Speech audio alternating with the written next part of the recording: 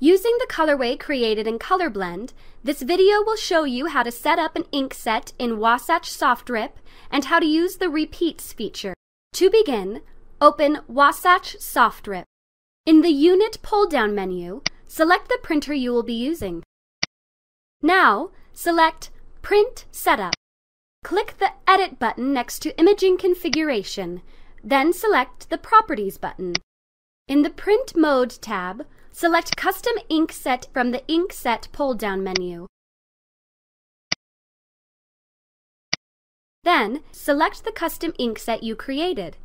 In ColorBlend, we used a CMY KRB ink set, which means in Wasatch we will set the ink channels to CMY KRB as well.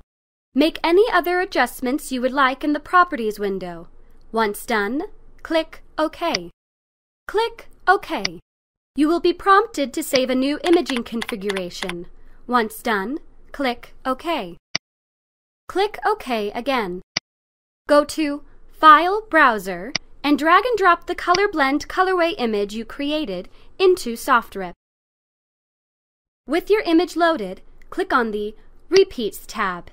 This feature is available with Wasatch SoftRip TX. Here you can set up your image to be printed as a repeat, set the appropriate width and height of the print job, make any other adjustments to the print job. Once done, select Rip and Print.